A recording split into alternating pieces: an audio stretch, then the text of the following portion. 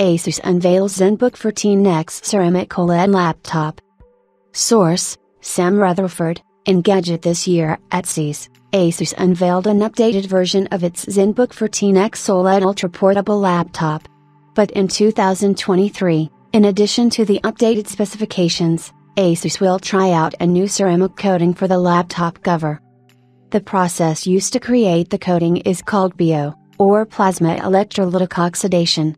This allows ASUS to create a lightweight but durable coating that is not only stronger than traditional anodized aluminum, but also more environmentally friendly, since it does not require the use of strong acids and heavy metals in production.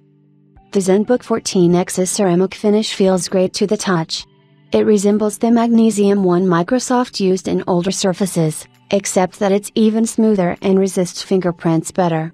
The downside is that since ASUS is using this process for the first time, the ceramic coating is only available in one color, sandstone. On the other hand, if you want something more traditional, there's also a cheaper aluminum coated model in Inkwell Grey. Source, Sam Rutherford, Engadget. Other updates to the ZenBook 14X include a slightly larger 14.5 inch OLED touchscreen, a higher 120Hz refresh rate, and a higher 1610 aspect ratio. And of course, performance has also been boosted by new 13th generation Intel processors, support for up to 32GB of DDR5 RAM, and even an optional RTX 3050 GPU from Intel. NVIDIA. Asus also adds faster Wi Fi 6E connectivity and a more capacious 70WH battery.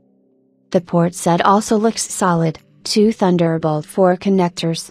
When it comes to video calls, there's a new Full HD webcam, up from 720p in last year's model, with Windows Hello support and two noise cancelling microphones, so you should look and sound better during meetings.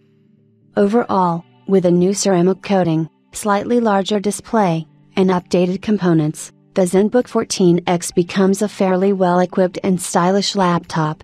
The laptop weighs just under 2 kilograms.